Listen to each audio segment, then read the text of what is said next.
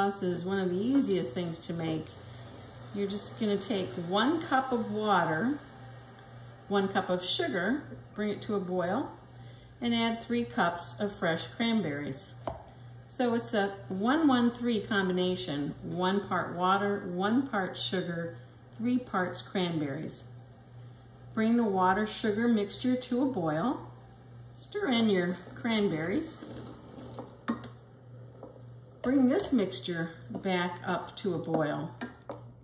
And then just keep stirring it, waiting for the cranberries to pop. And as they pop, we'll smash those down a little bit. You can hear the cranberries popping.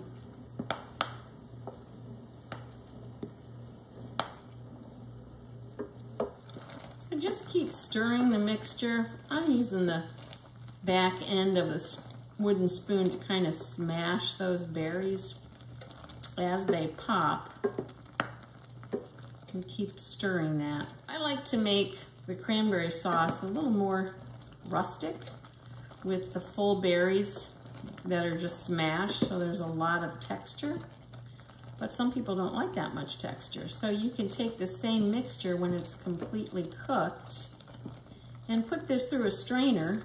Use a fine mesh wire strainer and then just pour this through and mash that and scrape it against the strainer with the back of a spoon until there's no pulp left in the mixture. And then you would just cool that mixture and put in the fridge and you'll have more of a jellied type cranberry sauce as opposed to a more natural rustic cranberry sauce.